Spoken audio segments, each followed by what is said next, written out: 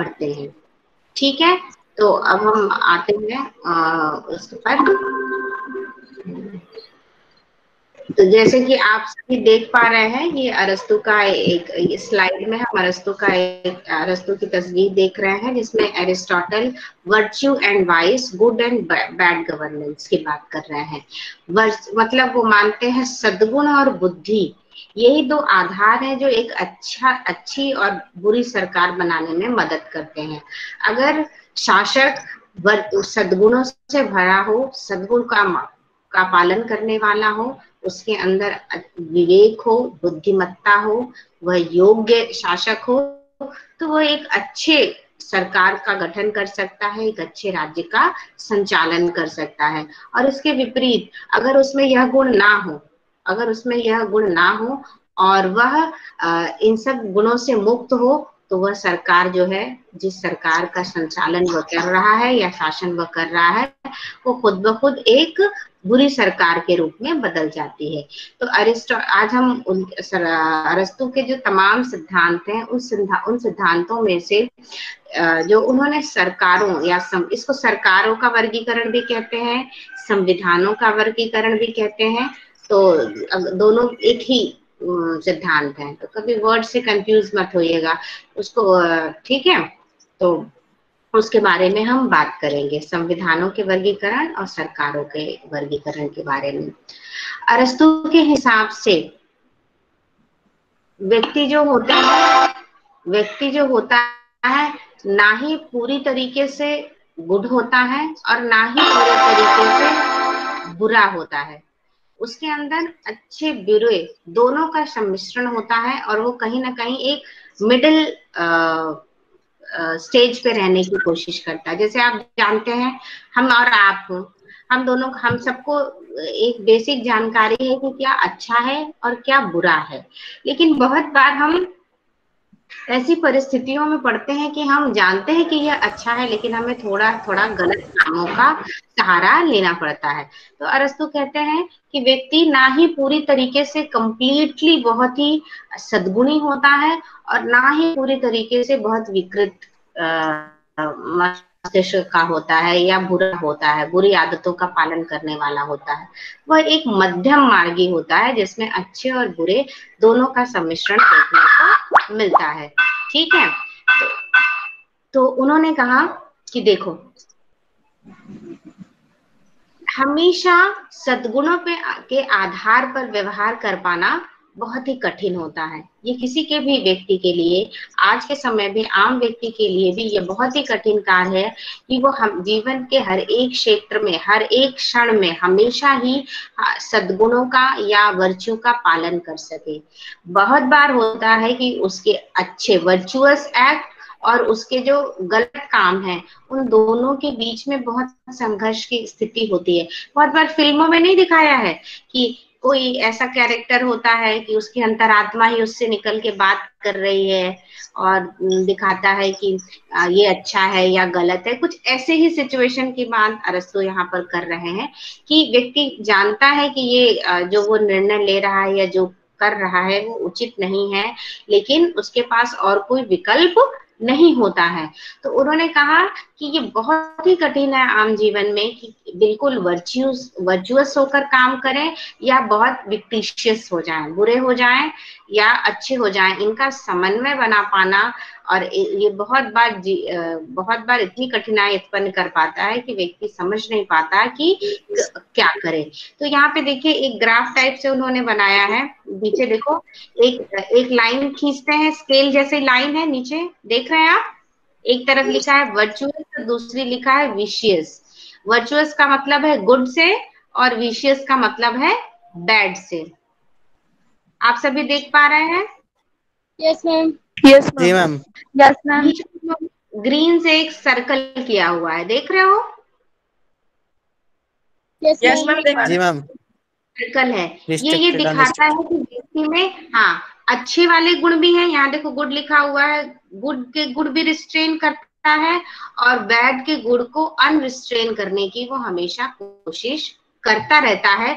और इसी दोनों गुणों के बीच में व्यक्ति हमेशा संतुलन बनाने का प्रयास करता है।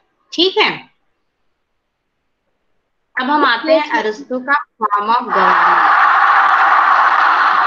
अरस्तु ने फॉर्म ऑफ़ गवर्नमेंट में दो तरह के गवर्नमेंट की बात की। एक कहा अच्छी सरकारें कौन सी हैं? और कुछ को कहा उन्होंने बुरी सरकारें। यानी गुड गवर्नमेंट किसको कहते हैं? ये अरस्तु का क्लासिफिकेशन है और बैड गवर्नेंस गुड गवर्नेंस में उन्होंने कहा सबसे पहले कि जो सबसे अच्छी सरकार गुड गवर्नेंस की होती है, वह है मोनार्की मोनार्की का मतलब राजतंत्र. राजतंत्र समझ रहे हैं? जो पुराने समय में चला हम लोगों ने देखा है, हमारे यहाँ भी था और यूरोप के बहुत सारे देशों में था कि राज्य का एक राजा होता था और राजा की मृत्यु के बाद राजा का ही पुत्र पुनः राजा बनाया जाता था और अगर राजा सदगुणी है अच्छा है तो वो लंबे समय तक उस, वो, उस वंश का शासन चलता रहता था। लेकिन अगर राजा कभी भी अपने कर्तव्यों से हट जाए तो जनता उसके के खिलाफ षड्यंत्र करके, विद्रोह करके, विद्रोह होता था, आंदोलन होते थे, और राजा अपने पद से हटा दिया जाता था और कोई नई सत्ता या कोई जो शक्तिशाली व्यक्ति होता था वो राजा के रूप में स्थापित हो जाता था। जितने भी हमने अपने देश में मौर्यों का साम्राज्य देखा है, मुगलों का साम्राज्य देखा है और बहुत सारे इतिहास में ऐसे साम्राज्य देखने को मिलेंगे जहाँ पर हमने राजतंत्र की व्यवस्था देखी है। तो समझ में आ गया? राजतंत्र क्या है?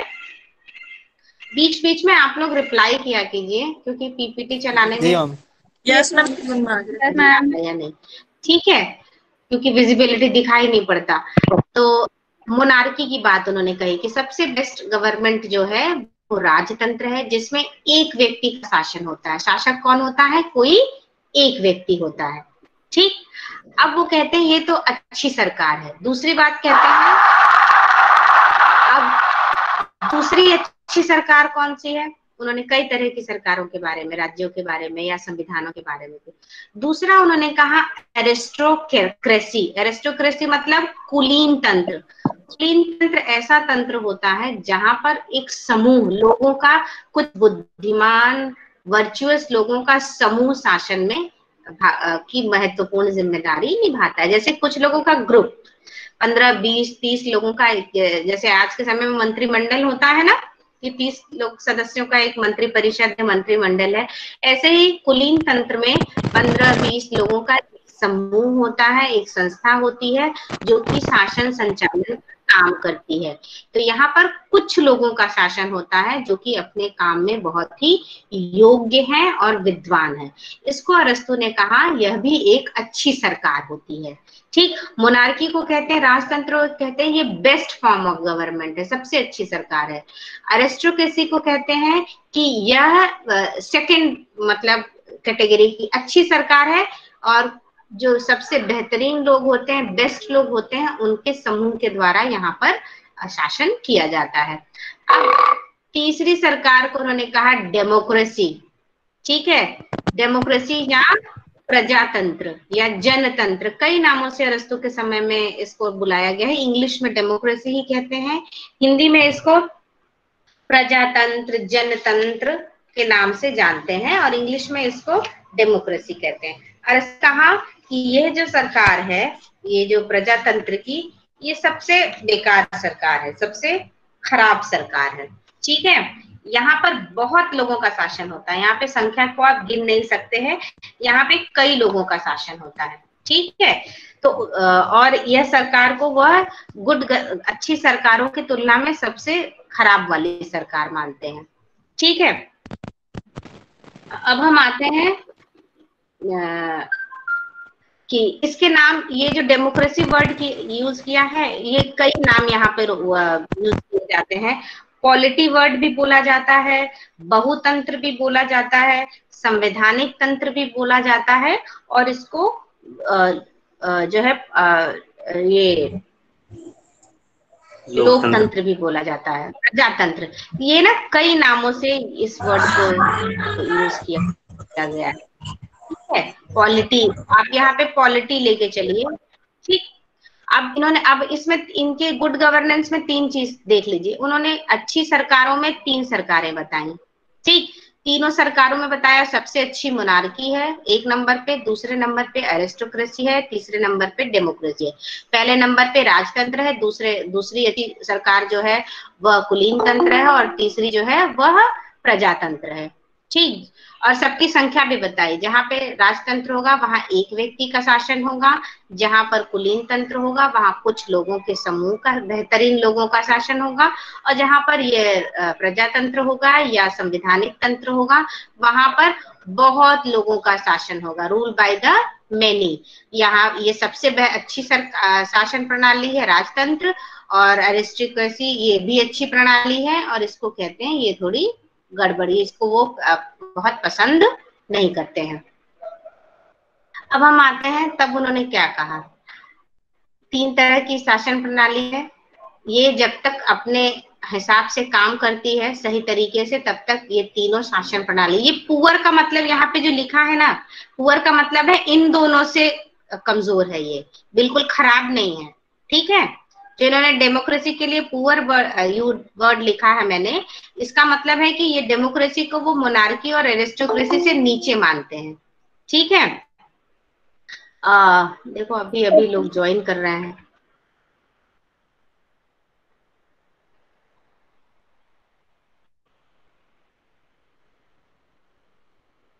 ठीक है?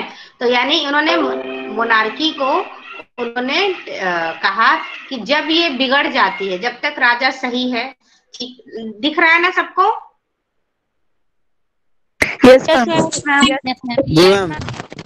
ठीक है।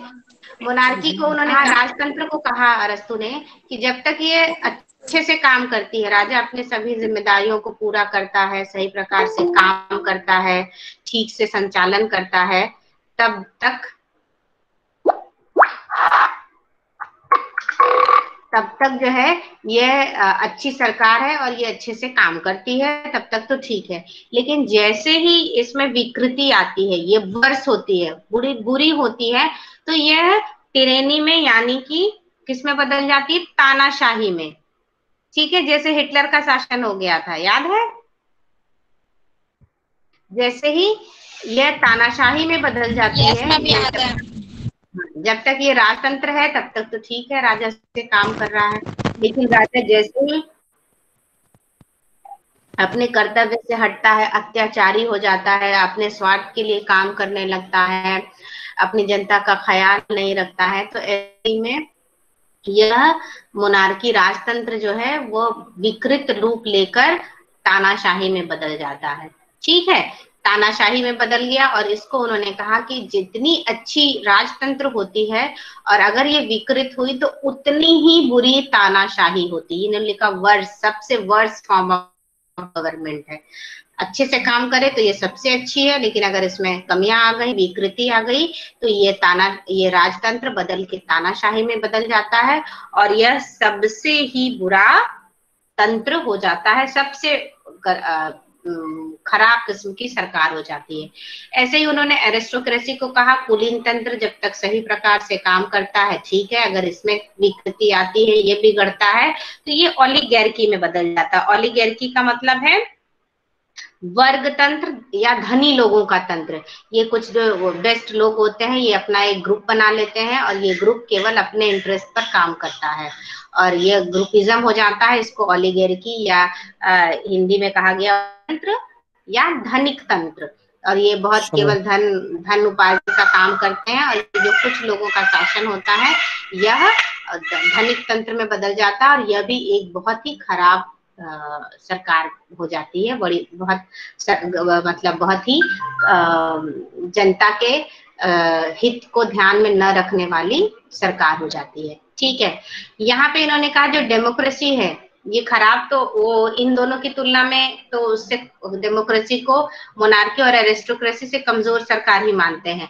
लेकिन फिर भी कहते हैं कि डेमोक्रेसी जब तक लोगों के मन के हिसाब से, मन मुताबिक उनके आवश्यकताओं को, उनकी जरूरतों को, व्यक्ति को महत्व देकर, वहाँ में रहने वाली जनता को महत्व देकर शासन करती है, तब तक डेमोक्रेसी का एक अच्छा रूप देखने को मिलता है। लेकिन जैसे ही यहाँ पर इसमें विकृति आनी शुरू होती है। लोगों का जो है, लोग लोग जो शासन कर रहे हैं, बहुत सारे लोग, इनमें मतभेद तमाम तरीके की विकृतियाँ आनी शुरू होती हैं तो यह शासन जो है, ये भीड़ तंत्र के रूप में बदल जाता है। उन्होंने कहा, ये डेमोक्रेसी मॉब रूल, ये जो लोकतंत्र है, ये किसमें बदल जाता है? भीड़ तंत्र में बदल जाता है, और भीड़ तंत्र सबसे खतरनाक फॉर्म ऑफ़ गवर्नमेंट सबसे बैड वर्स मानते हैं इसको सबसे खतरनाक किस्म की सरकार होती है जिसमें कोई किसी के लिए कुछ भी नहीं सोचता है। व्यक्ति एक व्यक्ति दूसरे व्यक्ति के लिए खतरा बन के सामने आता है और जैसे आपने देखा है ना भीड़ का कोई आ, कुछ भी कोई धर्म ईमान कोई नैतिकता कुछ भी नहीं होती। कभी देखा है मेले में या कोई ऐसी गैदरिंग हो रही है जहाँ पे भगदड़ मच जाती है? तो कैसी स्थिति होती है? कोई किसी को कुछ नहीं समझता, सब अपनी सुरक्षा, अपनी जान बचाने या अपने लिए ही काम करते हैं उस वक्त और वह पूरी तरह से भीड़, बिल्कुल एक भयावह रूप ले लेती है। उसी तरह उन्होंने डेमोक्रेसी को कहा कि जब डेमोक्रेसी में विकृति आती है तो लोग यह जो ये जो बहुत ये जो ये जो लोकतंत्र है यह भीड़ तंत्र में बदल जाता है और भीड़ तंत्र बहुत ही खतरनाक स्थिति है। आ, आ, आ, मतलब सरकारों के के को लेकर। और ये अरस्तु के हिसाब से बुरी सरकार का सबसे विकृत रूप है। यहाँ तक समझ में आया सबको? जी मैम। समझ में आया? किसी को कोई दिक्कत तो नहीं? हाँ बोलो। किसी को कोई क्वेश्चन है यहाँ तक पूछो। ये सबसे इम्पोर्टेंट है समझना बहुत ज़रूरी है।